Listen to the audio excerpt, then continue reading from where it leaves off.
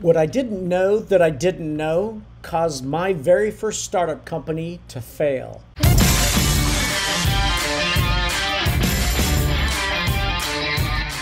Welcome to Click AI Radio, where you'll learn the secrets to transforming your small to medium business.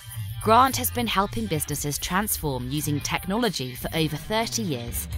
Advanced technologies like artificial intelligence have been available only to large companies and advanced technical teams. Grant will discuss how you can use to leverage AI and other technologies to grow your small to medium business. As a gift, Grant is offering his ebook, AI for Sales Growth, at clickairadio.com. Now, here's your host and BizTech geek, Grant Larson. Everybody, thank you for joining. This is Grant. So we started this company. I was right out of college, and um, as you probably recall, I, I, turned to my wife and said, "Hey, I'm not going to take this secure job. I'm, I'm going to go do this uh, this startup company." So we headed to Chicago, and and we started working on this company. The focus of the company was to deliver some technology solutions to the healthcare world. That's that's honorable, right? Well, as we all know, in the world of all possible knowledge, there's the sliver of things that you know, and then of course there's there's the section of you know the things that you know that you don't know. then there's this big wedge of the things that you don't even know that you don't know.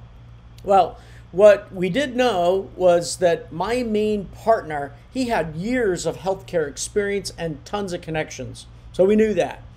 All right. And then what we knew that we didn't know was we weren't familiar with the healthcare payer details, right? We were focused on healthcare providers, right? And the solutions around there.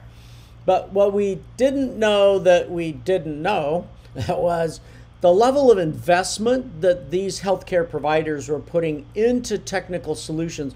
It far surpassed our ability to support, right? So just a couple of us guys coming in saying, hey, we're going to go solve this serious healthcare problem for you. Yeah. Now, the other thing that I didn't know that I didn't know was that my partner was unwilling to accept input. He was unwilling to change course and align with the market better, right? And so that unwillingness to change, that's a common challenge for many SMBs. Heck, it's a common challenge in big companies too. But the ones that pivot, both the large as well as the small companies, that pivot, right, that show some willingness to adjust course with some market input, that's a critical skill set for business survival and growth. So, of course, the key is to be open to change. And there's a few things to consider there. Number one, commitment, right? Make a conscious commitment to be open. Number two, trust. Trust that you're heading in the direction, not that you want to say is right, but you're always heading in a direction of new knowledge, right? Second or third, curiosity. So allow yourself, of course, to experience the curiosity of not knowing, right? Some sometimes we get uncomfortable with that. We want to stay safely in the things that we know, but curiosity is actually critical to to the business pivoting and growing. And then fourth is around freedom, and that's basically the freedom of experiencing something new and unexpected. So, getting open to change is a critical part of any SMB. Now, you know, I have plenty of stories of things that I didn't know that I didn't know. One of those was even years before this startup that I did. This was well before college, well before I went into college. I had an opportunity to run a business for a friend of mine, and he was going to be away from his business for a year or so. And so on paper, this looked great, looked like a great deal. He had set up about $100,000 in business contracts. All I needed to do was to fill on those and, you know, keep the profit. Now, the team was small, and this was back in the 80s, so everyone had big hair. Anyway, you know, to a young pre-college age kid, this this looked like a lot of money. So I'm thinking, hey, how could I pass up such a great opportunity? Oh, and uh, by the way, I could use that money later for paying for college. So in my mind, it was a win-win-win. So I told him yes. Well, I got a few weeks into this, and uh, he hadn't left yet. And one day I got this pit in my stomach, right? Something just did not feel right. And this gnawed at me for several days. So I eventually got some alone time, right? Just to ponder and think about this, right? What is going on? And during that time, I got some clarity and I went back to my friend and I turned down the opportunity. Now, I thought the story would end there. A few months later, he reached out to me and he informed me that that the other business partners that were involved had embezzled a bunch of money and the company went down and uh, and he was tied up in, in legal matters now certainly i didn't know what i didn't know right i didn't know that these potential partners were planning to do something like this right right in the middle of when i was trying to make make this decision now in this case gut instinct some inner voice right gave me some reason to say to pause and reconsider all right, which I did, of course, and, and I'm grateful for that, right? It didn't tell me of the impending scheme that was about to unfold. But so, how we learn about things that we don't know, that we don't know, that tends to vary, right? and sometimes it's got instincts, right? Other times it's some AI insight. We need all of that when we're running our SMBs, right? We need to, to understand and be open to the change of constantly learning and, and constantly not knowing and have that curiosity for that. That's a critical aspect of running our businesses, of course. Well, there's some techniques around this, right? One of those is if you want to practice with your brain, allocate some time on a regular basis to learn something new, right? And so that's literally, it could be set aside 10 minutes a day or whatever it might be. Maybe it's while you're driving in your car, you're listening to a podcast or whatever it is put in some time to learn and to expand what you're what you know and what you don't even know that you don't know. Because there's incredible cross pollination that takes place from other industries into yours.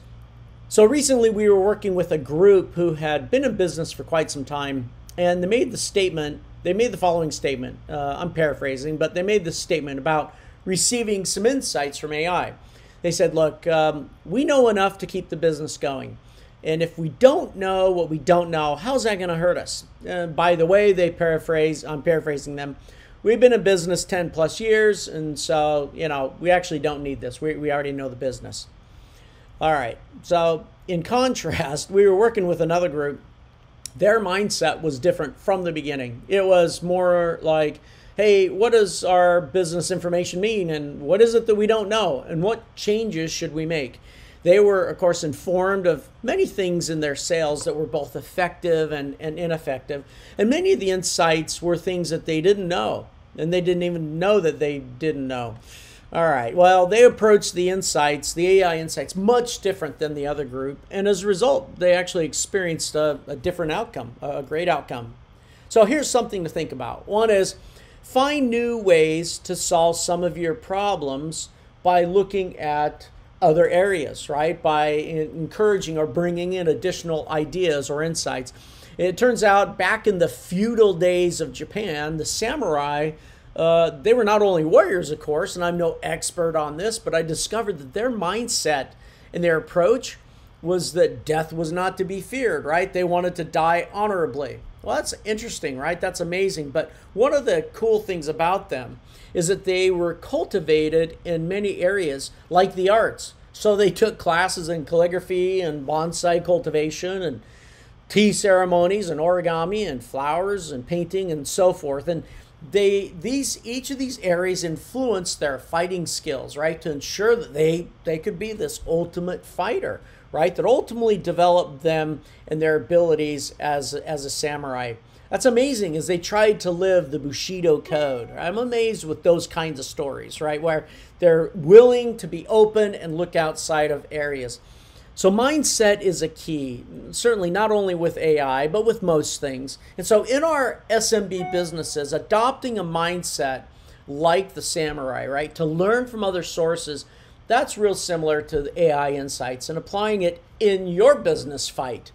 Hey, everybody, Join me on Thursday for a web class to discover what you don't know that you don't know about your SMB. Go to clickai.com slash break the trap. That's break the trap, T R A P, clickai.com slash break the trap. Looking forward to seeing you there. Thank you for joining Grant on Click AI Radio. Don't forget to subscribe and leave feedback. And remember to download your free ebook. Visit clickairadio.com now.